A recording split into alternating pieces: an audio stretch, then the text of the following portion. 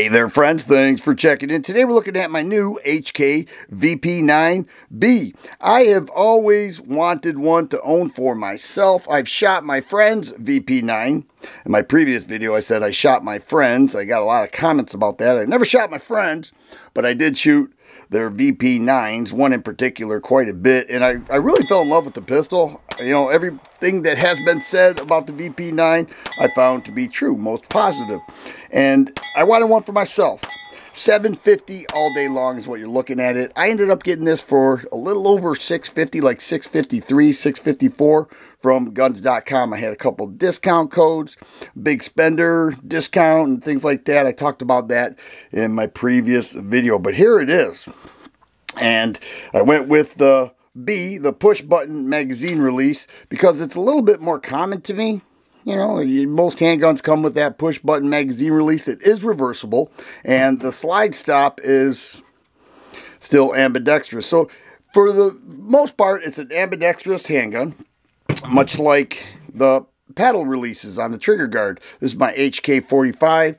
Dropped the mag there. Lefties would like that because it is ambidextrous as well as the slide stop. But, you know, I went with the B and I have no regrets. They now make these optic ready where you pick your optic afterwards and then you purchase a plate, they send you a plate. So you can see that, it, you know, the costs add up quite a bit with HKs. They do a great job with ergos. And I've always said that. HK ergos feel great. If you go with this, you will see you will get two 17 round mags, a speed loader, a couple additional back straps, and grip panels. Okay, right here. You can switch those off to really custom fit your hand size. I kind of like the way it feels in the case with my average size hands, but HK does an excellent job with ergonomics and the VP9B is no different. And I do like the fact that they were able to crank out two more with the same magazine. Pretty much same magazine. It does have a full rail there, front serrations. That it has a striker fire indicator right there where that dot will go. It's embedded pretty deep. You can hardly see it, but it does offer that. Three dot steel sights, both front and rear, and they are luminescent. So once charged by light, they will glow in the dark for a couple hours anyway. So it gives that night sight effect, but it does need to be charged in light. Like right now, I've got my lights all over the place. Should be fine if I were to turn the lights off.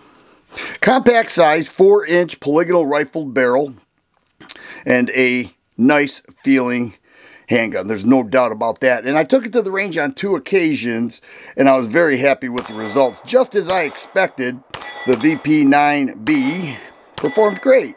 I was happy with it. It's a quick shooter. Now, the, the website says the trigger is a 5.4 pound trigger, and I already showed clear a couple times. Does have trigger bar safety there. I am measuring it right at, I suppose I should I measure, I'm measuring it right at five pounds.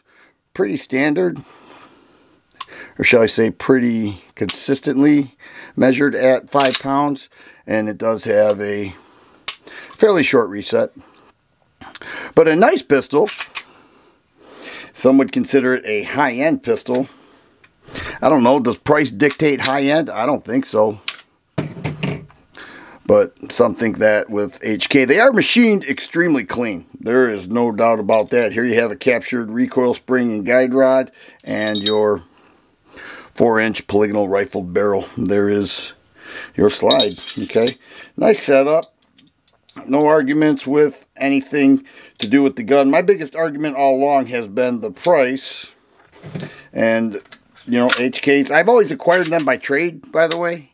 You know, this is the first HK HK I ever purchased and happy with the VP9. I've had quite a few. I've had the, the P2000, the P30, the P30SK.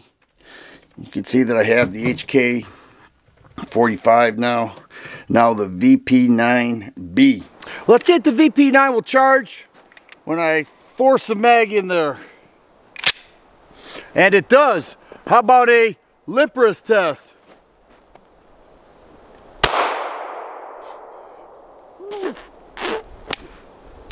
Uh-oh.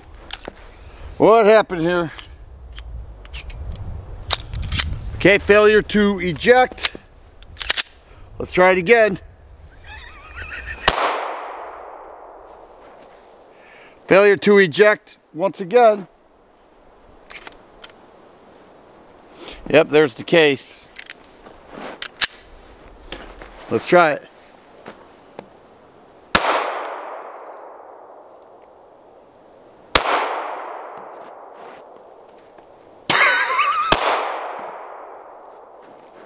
Failure to eject. So that's three times.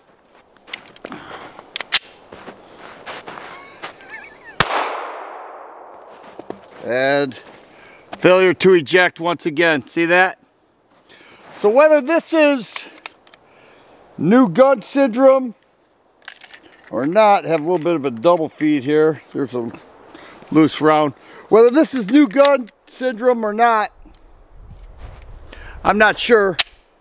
I will give an update and when I when I learn more about it. But right now, it did not pass the limp wrist test. Its unloaded weight, we are looking at one pound, 10 and three quarters ounces. If we move that to just ounces, we're looking at 26 and 5 eighths or 26 and 3 quarters. I have 18 rounds considering one will be in the chamber 34 and a quarter ounces. So it's right there with other compact size handguns, you know, mid 30s, loaded. I do like that 17 round mag that they're they're now offering. I do like the fact that they are now offering them optic ready. This one clearly is not, and I'm okay with that. I knew that going in. I like the slide finish. I think they do a good job with that. I think it would hold up fairly well with holster wear. And I've always appreciated HKs. I think they make a, a, a, real nice pistol. There's no doubt about that. I would have never owned as many as I have if I did not think that.